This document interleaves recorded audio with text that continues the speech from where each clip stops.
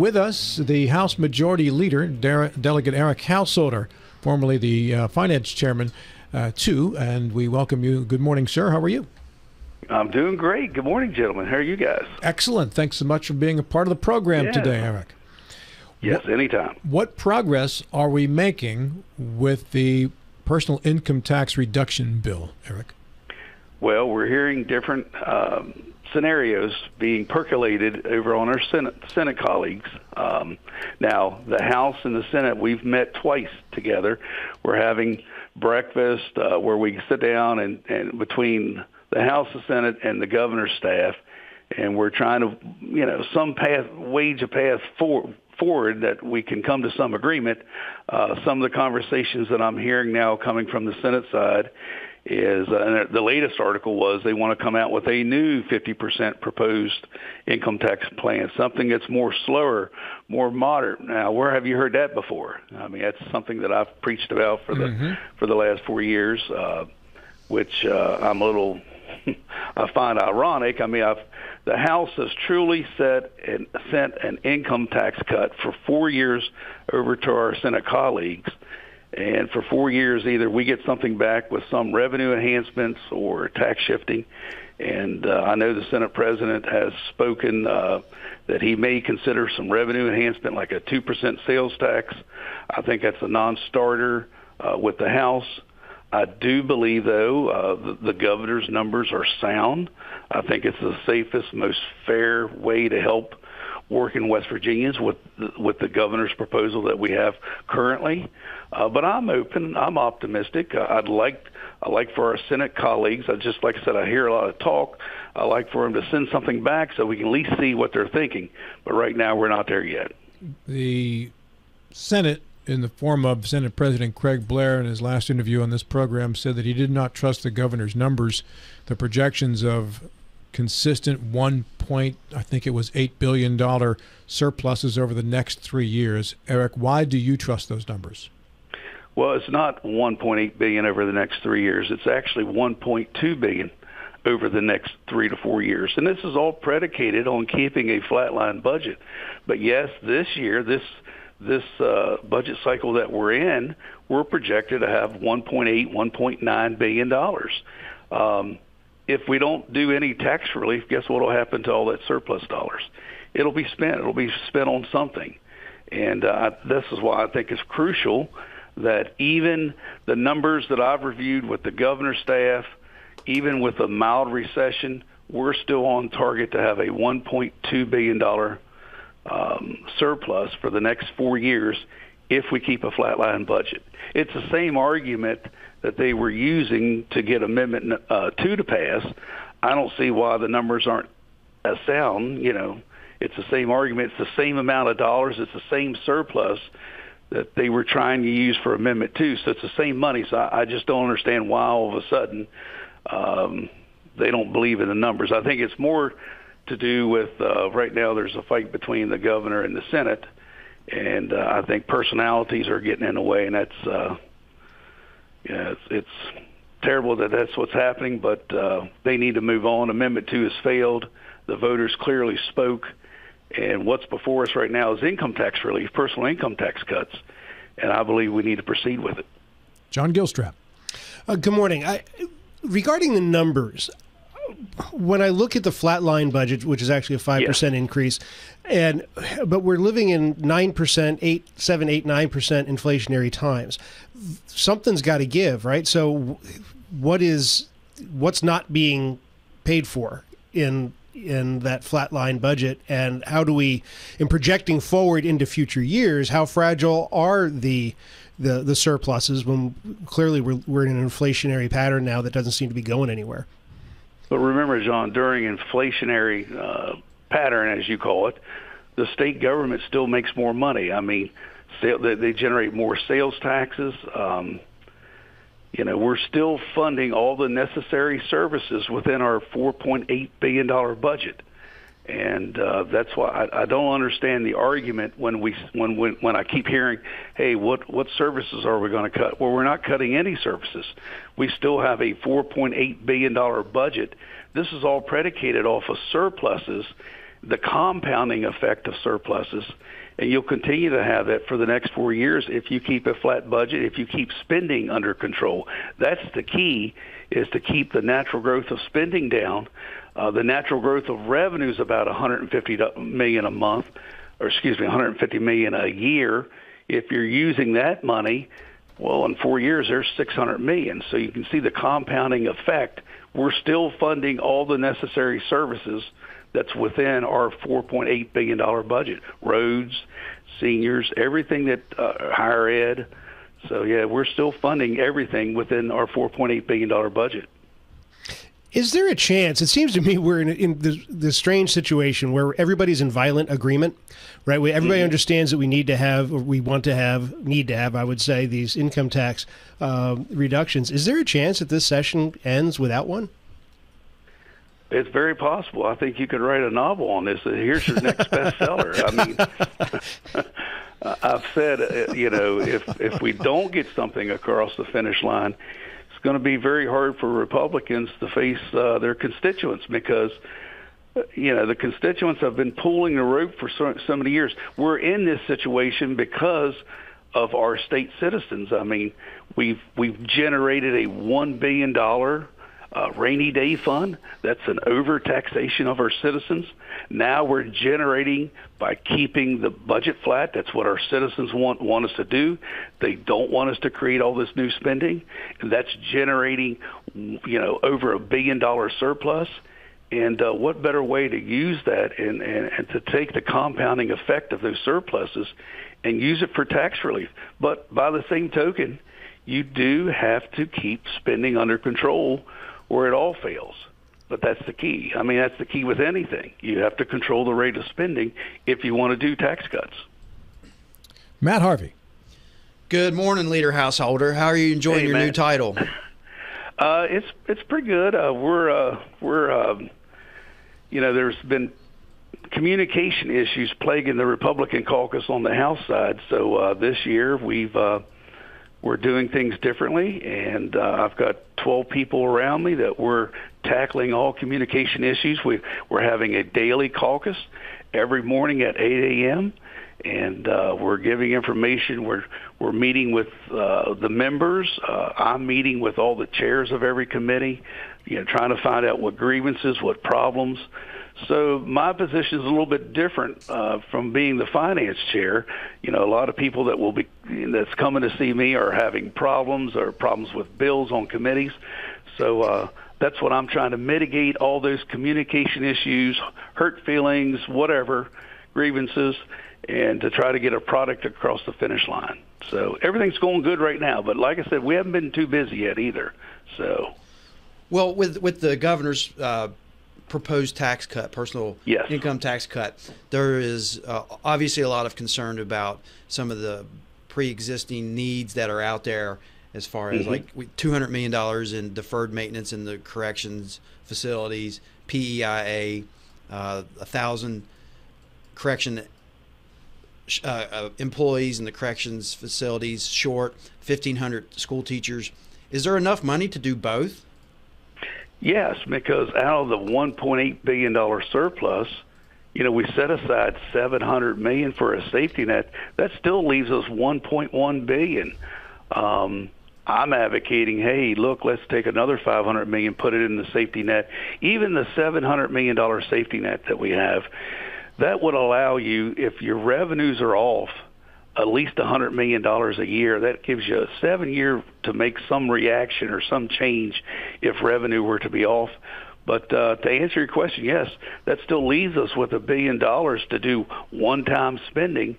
The money's there. Um, you know, I have no concerns. I mean, it's a sound plan. Uh, um, you know, this tax plan is basically basically an across-the-board cut for all wage earners.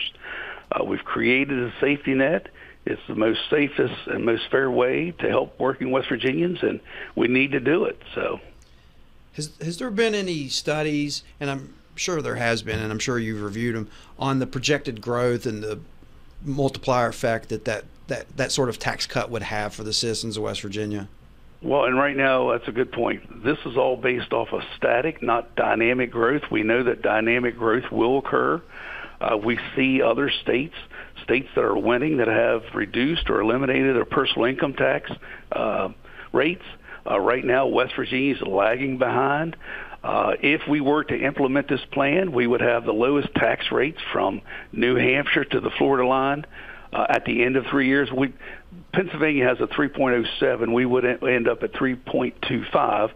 But you know that makes us more, uh, you know, different than our neighboring states like Virginia. Virginia's talking about reducing their income tax rates from 5.75 down to 5.50. Not much, but states around us are all uh, implementing some type of uh, tax cut, tax reform to spur more economic growth in, in their states. So we need to get on board or we're going to be falling behind and we've got to do something different than our com- our surrounding neighboring states and right now the governor's proposal I believe is a sound plan I've reviewed the numbers with the revenue secretary and I've looked at their projections and, and I'm fine with it just a note about Pennsylvania, there's also a local tax that's assessed. Yes. And on yes. top of that, Pennsylvania real estate taxes are extraordinarily higher than West Virginia's, so mm-hmm. they can afford and, to have a lower state income tax rate. Yeah, and, and to carry on that conversation, uh, the personal property taxes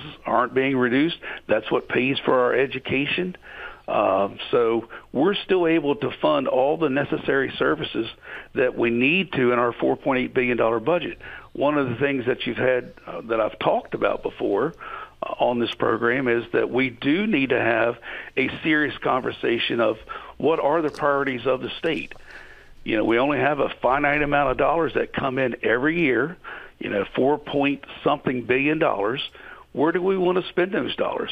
Is it all towards higher ed? Is it all towards education, DHHR? How do we want to spend those dollars? Uh, is it more for road maintenance or deferred maintenance? But those discussions are really never held. And if we're truly we want to continue down the path by eventually not only eliminating personal income tax, but maybe eliminating all the TPP, the tangible personal property. At some point, we need to have a sit-down conversation and decide what are the priorities of the state. And until that happens, um, you know, we'll still be discussing it till the cows come home. We are talking with Majority Leader Delegate Eric Householder on the program. Uh, Eric, in a Metro News article today regarding mm-hmm. this tax cut, uh, Craig Blair, when asked, said zero in terms of the amount of communication that's been going on between the governor's office and the Senate. And it says, quote, the Senate has not been involved for the last two months, nor invited to be part of the process in drafting this tax plan. Is that accurate? That, well, nor have I. I mean, this is a plan that the governor had talked about and came out with, and uh, but by the same token, uh, you know, my ears perk up, perk up anytime that they want to do a tax cut. Uh, the governor sent the bill to us. I've reviewed it. Um, we've been we've met now for two weeks with our Senate colleagues just to talk about what is the strategy. Um, so, I mean, they're participating now. Whether or not uh, they're still angry with the governor with the failure of Amendment Two, I, that's that's the sense that I get. But um, it's, it's not like we met with the governor any any time sooner. But no, I maybe a couple weeks before the state of the state, the governor had mentioned to me that he this is what he's proposing. I said, "Hey, good deal. I like it." Is, and you might not be the right person to ask about this, but I know you know both of the players pretty well here in Governor Justice and Senate President Blair. Uh, is this simply a matter of personality, and uh, they've had enough of each other, and no matter what, they're just not going to come to some type of an agreement? I think so. I know the governor met privately with uh, President Blair. Um, you know, I think that's the key right now is for those two to mend their relationship. I mean, uh, Senate President Blair for the last six years had a good relationship with the governor.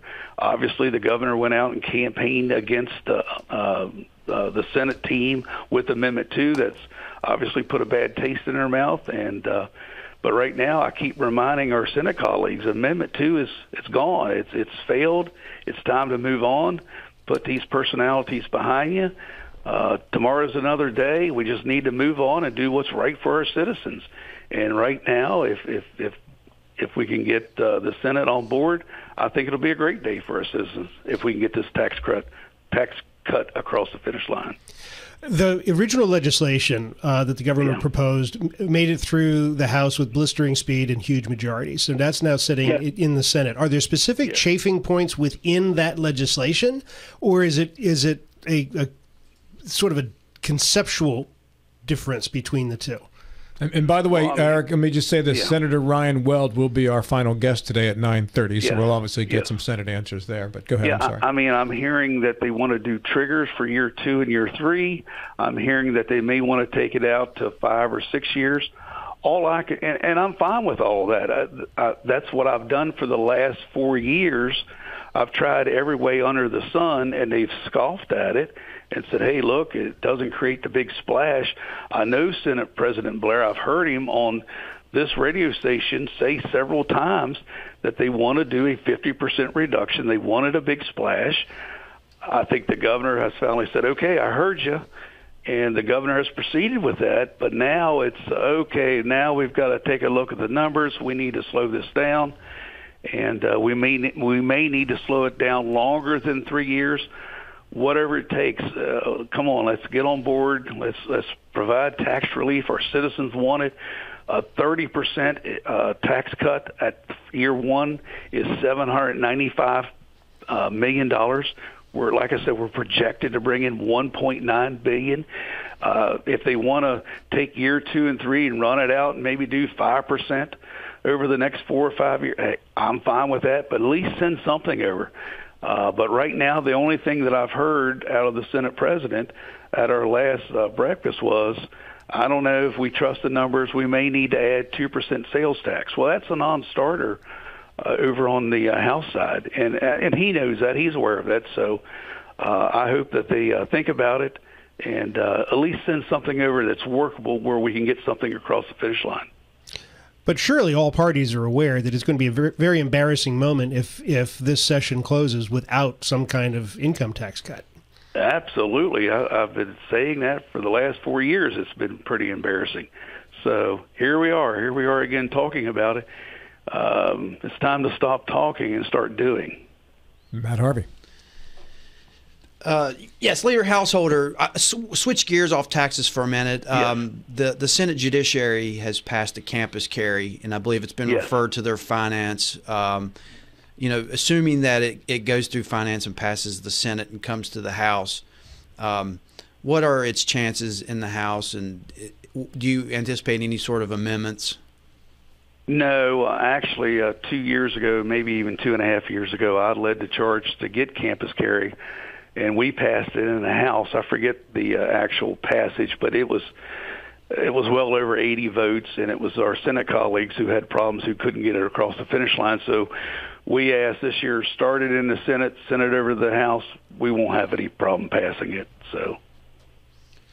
And any, I know the governor's called for it. I know certainly you've called for it.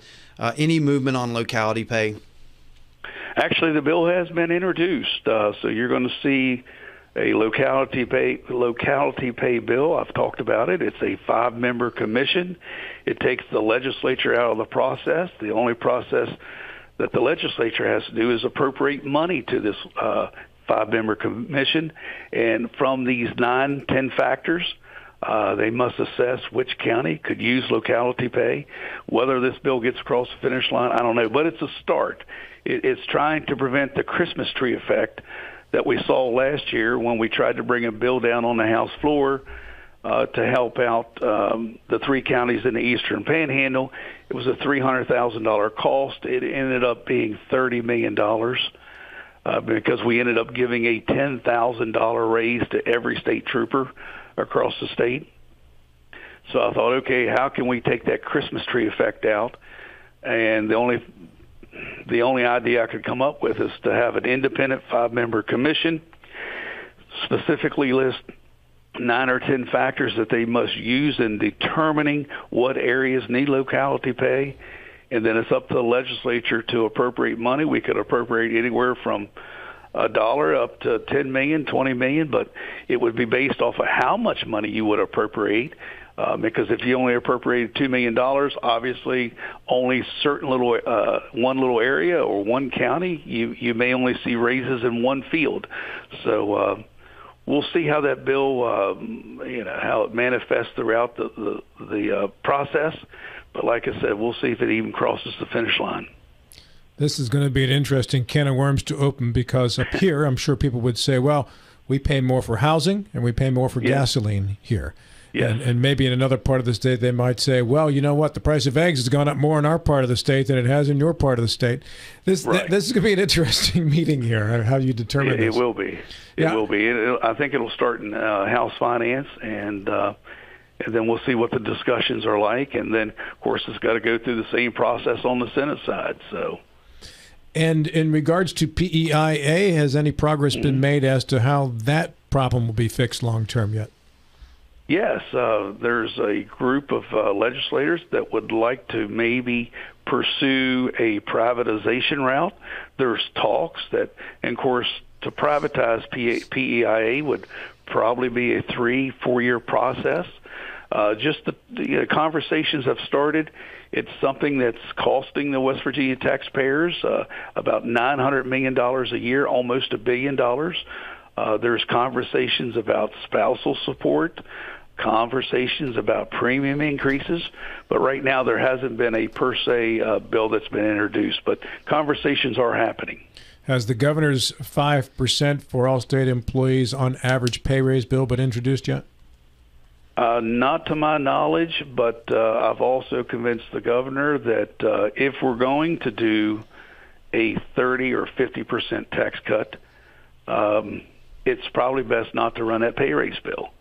And uh, I think our Senate colleagues would agree as well. But those are decisions that that haven't been made. Uh, instead of receiving a 5% across the board pay raise, you would be better off to have a 30% personal income tax cut uh, time you factor in the 35 percent uh, of, of taxation that's taken out of your 5% raise, you're probably better off to have a 30% personal income tax. That would be retroactive to January 1st of this year.